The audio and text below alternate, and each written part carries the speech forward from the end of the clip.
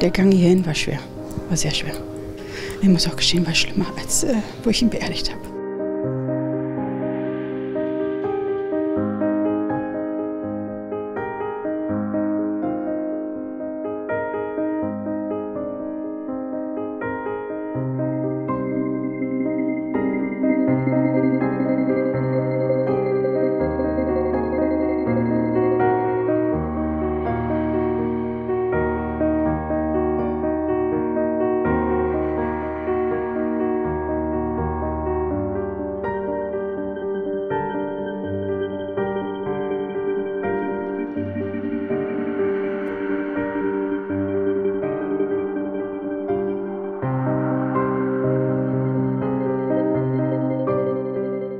Morgen war nicht gut. Die Kinder haben, die Mädchen waren auch früh auf, konnten auch nicht richtig schlafen. Ähm, haben auch Angst. Der Gang hierhin war schwer, war sehr schwer. Äh, ich muss auch gestehen, war schlimmer, als äh, wo ich ihn beerdigt habe. Ich hatte mich auch ein bisschen so vorbereitet mit, wie ist es, äh, ihn zu treffen, zu sehen, wenn er gleich durch die Tür kommt. Und dann war der Strafverteidiger raus und dann auf einmal kommt er rein und so einen kleinen Mann da zu sehen, aber der sich so groß tut. Und dass er dann noch, also dieses Unbeholfen, diese Frechheit hat, allen Leuten in die Augen zu gucken und dann bei mir haften bleibt. Also guckt, ohne Regung, ohne diese Reue, ohne diese, dieses Blick nach unten, wenn man irgendwas nicht gemacht hat, was man nicht machen haben sollte, dürfte. Nichts. Es war keine Regung. Und dann guckt er noch guckt in die Bank, wo die Kinder sind und dann denke ich, was denkt er? Was denkt er jetzt?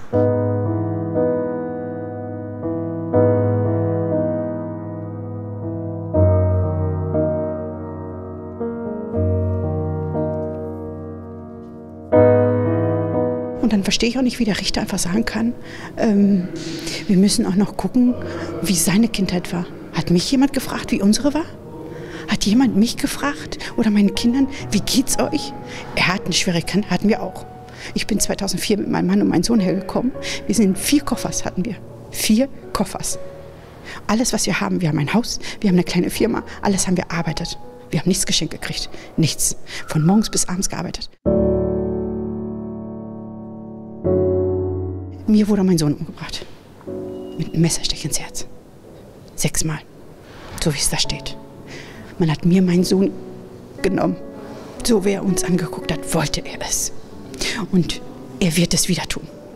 Er ist 18. Ich weiß nicht, wie viel er kriegt. Vier, fünf Ja, Mehr wird er mit Sicherheit nicht kriegen, der arme Junge. Wir müssen damit leben.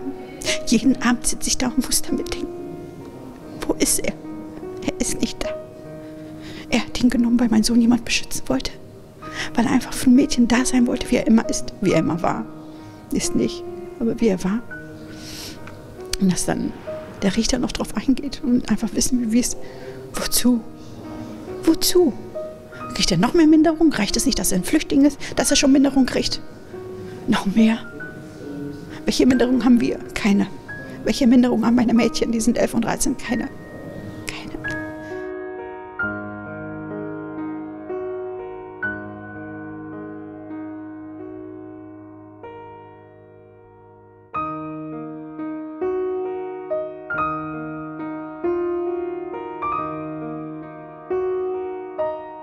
Ich habe gerechnet, dass er ein Schuldbekenntnis abgibt. Dass er einfach sagt, es tut mir leid.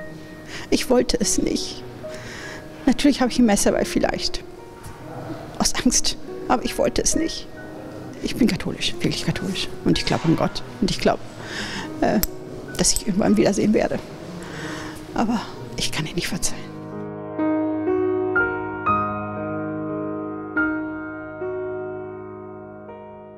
Bei seiner Beerdigung war ja die Marienkirche krabbelvoll. Von hinten standen Menschen, unglaublich, wie viele Menschen da waren.